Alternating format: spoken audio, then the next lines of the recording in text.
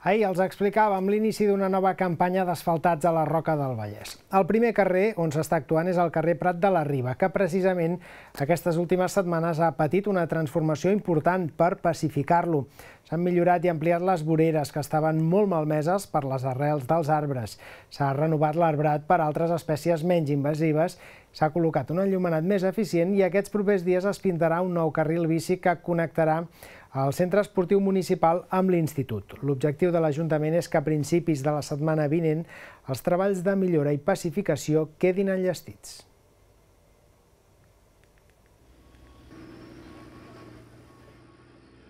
Era un carrer que era dos direccions, ja fa uns anys es va fer només d'una direcció, va quedar molt ample, era un carrer, a més a més un carrer molt cèntric, un carrer que hem decidit doncs, pacificar-lo, perquè era un carrer que les cotxes passaven a molta velocitat, hi ha, hi ha, hi ha comerços, hi ha empreses, hi ha un trànsit de gent, hi ha l'institut,